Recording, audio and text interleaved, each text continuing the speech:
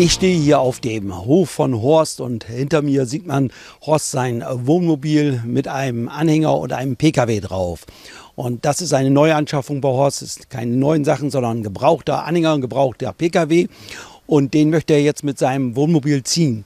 Und äh, ja, das ist ja nicht immer so ohne weiteres möglich. Äh, hängt mit dem Gewicht zusammen und so weiter. Was Horst da, dafür alles tun musste, damit er den Anhänger mit Pkw ziehen darf, darüber möchte ich heute berichten. Herzlich willkommen zu diesem Video.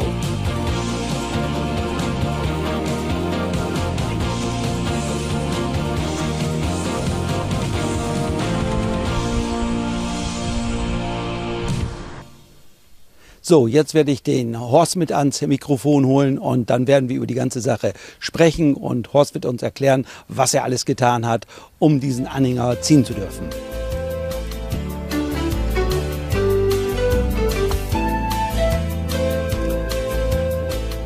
Ja, Horst, erstmal hallo. Hallo. Ja, wollen wir mal wieder gemeinsam ein Video hier machen. Und zwar geht es ja heute um das Thema Anhänger, Pkw drauf, Ja. Gewicht und so weiter. Und da hast du in den letzten Tagen, Wochen, Monaten. Er, Monaten Erfahrungen gesammelt. Ja. Ähm, ja, äh, erzähl jetzt mal so ein bisschen über dein Wohnmobil. Wir müssen mal wissen, Größe, Gewicht, Ja. PS. Ja, ich hatte ja- ja bis jetzt noch keinen Anhänger mit und auch noch keine Anhängerkupplung. Die haben wir jetzt drunter bauen lassen. Und äh, dann wollten wir, weil wir jetzt auch länger mal an einer Stelle stehen möchten, haben wir uns überlegt, doch ein kleines Auto mitzunehmen. Ne? Ja, gesagt, getan. Auch Gebrauch gekauft, wie man hier den Peugeot, den Anhänger und so weiter. Und dann haben wir festgestellt, dass ich das Ganze gar nicht ziehen darf. Das sah zwar so ähnlich, kam es mit dem Gewicht hin, aber das Ganze war doch etwas zu schwer und da äh, musste ich äh, eine Odyssee machen, um das Ganze äh, zu erhöhen, damit ich das Ding jetzt ziehen darf. Ne? Ja, ich habe also mal irgendwo gehört, also diese Fiat mit, äh, dein, dein Wohnmobil ist ein Knaus Ja. auf einem Fiat oder mit einem Fronttrieb von Fiat Ja. und ähm, ja, Alco Tiefrahmen Chassis, ja, Chassis. ja, ganz so. genau. Und da habe ich mal gehört, die dürfen so sechs, insgesamt sechs Tonnen haben. Das heißt, Nein, die dürfen insgesamt, die Gesamtmasse, das nennt sie das, das ist der Anhänger mit Ladung und das Fahrzeug selber, äh, dürfen die fünfeinhalb Tonnen haben. Alle. alle. Ja. Äh, Jetzt habe Ja. habe ich aber Fahrzeuge. Die, neu- die neuen nicht, die haben dann schon sechs Tonnen, aber die, das Ding ist ja schon zehn Jahre und el, elf Jahre jetzt alt. Ja. Und da ist immer noch äh, fünfeinhalb Tonnen Gesamtmasse. Nun stand da zwar drin, dass ich äh, anderthalb Tonnen ziehen darf oder 1250 ziehen darf. Das wäre vielleicht gerade so hingekommen, Ja. aber die Gesamtmasse wäre dann überschritten um 250 Kilo. Ja. Also habe ich mich dann an Alku gewandt und die haben mir ein Gutachten geschickt. Ja. Und daraufhin bin ich dann zum TÜV gegangen und die haben dann alles nochmal nachgemessen, geguckt und haben mir dann bestätigt und das Ganze, die ganze Gesamtmasse auf 6 Tonnen erhöht Ja. und die Anhängelast auf 1500. Und da komme ich locker mit hin jetzt. Ja, das heißt also, du hast ein Wohnmobil mit viereinhalb Tonnen. Das Richtig. ist auf, ursprünglich hatte, glaube ich, vier Tonnen Ja. ge 4250 gehabt. hat er gehabt. Ja. Und Okay, und jetzt hast du ihn, oder der hat es ihn vorher schon aufgelastet auf Ja. vier 4500 Kilogramm. Genau, weil ich jetzt von Goldschmidt die Luftfederung habe einbauen lassen und verstärkte Federn, kam ich dann auf viereinhalb Tonnen. Und dann hätte ich quasi nur noch, wenn die Gesamtmasse 5,5 wäre, dann hätte ich nur noch eine Tonne mitnehmen dürfen. Also und das ging nun gar nicht mehr. Ne? Also Nee, nee. Gott sei Dank habe ich es durchgekriegt und äh, Ja. jetzt darf ich es. Das heißt, du hast dir einmal von ein Gutachten von Alco geholt Ja.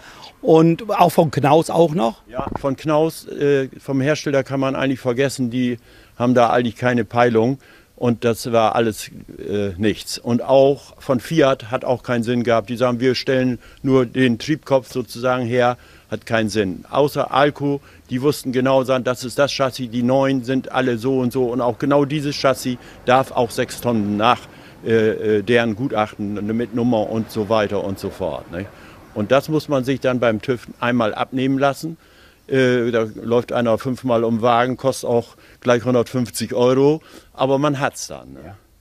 So, jetzt jetzt vielleicht nochmal so ein bisschen zu deinem äh, Anhänger und dem, äh, ich gehe mal hier so weiter rüber, äh, zu deinem Anhänger und deinem Pkw, das hast du Gebrauch gekauft. Ja, das habe ich Gebrauch gekauft, äh, war auch nicht so teuer. Das ist komplett Aluminium, bis auf das Chassis, was ja nun nicht mit Aluminium geht und die Deichsel nicht. Das ist auch Alco. Äh, Federung, Drehstabfederung, äh, äh, Doppelachse. Ja. Aber die Schotten und so weiter, das ist alles Aluminium. Auch der Fußboden ist Aluminium Ja. und der ganze Anhänger wiegt nur 380 Kilo, was Ja. eigentlich äh, ge gering ist. Also mit den ganzen äh, Auffahrrampen und so weiter. Und was für, ein, äh, was für ein Gesamtgewicht oder was darfst du da transportieren drauf? Äh, 1500er bei diesem Anhänger. Ja. 1500 Den gibt da- es auch in verschiedenen Varianten. Ne? Ja, ja, okay. Dieser hat jetzt Doppelachse Ja. und, und ja, okay. Das heißt also, äh, da ist der kleine Peugeot, der hat da überhaupt kein Der Problem. wiegt, der wiegt 880 Kilo Ja. und dann, äh, äh, den, dann die 380 dazu. Also da habe ich noch ein bisschen Luft nach oben. Ja. Ne, also das geht locker. Ne? Ja. Also da äh, sehe ich kein Problem. Einzige, was jetzt noch fehlt, ist die Fahrpraxis mit Anhänger. Die habe ich noch nicht. Die habe ich nur. Ich habe den ja so geholt mit dem PKW allerdings, wo Ja. ich den Gebrauch gekauft habe. Ja.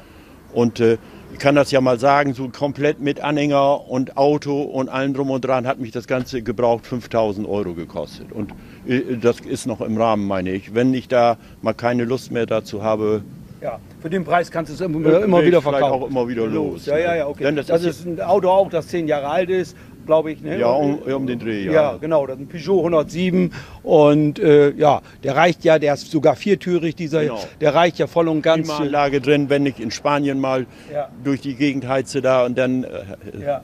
ist schön, wenn man das auch noch hat. Ne? Ja. Ja, das ist ja gut und ja, jetzt ist es so, du sagst, alle neueren Fahrzeuge haben sechs Tonnen oder kamen Ja, nachher... Mit dem Alco-Tiefchassis, Ja. die, so wie mir bekannt ist, haben die das schon jetzt. Ja, ja. Plus ab, ich glaube, das war 2010, 11, da, da war das, die da vorgebaut wurden, die hatten das noch nicht. Ja. Das heißt, wir können jetzt das nicht verallgemeinern mit deinem ganzen äh, Gespann hier, sondern da individuell muss jeder gucken. Und ich habe sogar Fiat gesehen, vorne, in, vorne im Motorraum, im, äh, Typenschild, dort stand 6,2 Tonnen gesamt. Neuere, neuere. jetzt so nicht bekannt. Nee. Wir können aber gleich auch gerne, ich habe das oben auch schriftlich, dieses Gutachten, können wir gerne noch mal ein Foto einblenden. Ja. Äh, und wenn einer das gerne mal machen sollte, sich auf jeden Fall an Alco wenden. Das sind die einzigen Kompetenten, die da äh, dir auch weiterhelfen können. ne? Okay.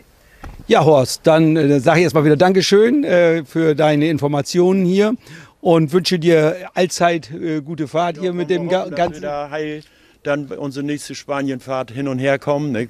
Es sei denn, andere machen einen Strich durch die Rechnung, aber da wollen wir ja nun nicht drauf hoffen. Alles klar, danke Horst. Und ich sage auch an euch Dankeschön fürs Zuschauen. Wenn euch das Video gefallen hat, würde ich mich natürlich freuen über einen Daumen nach oben. Freuen würde ich mich auch, wenn ihr meinen Kanal abonniert, falls ihr es noch nicht gemacht habt. Ansonsten sage ich wieder Bye bye, bis zum nächsten Mal.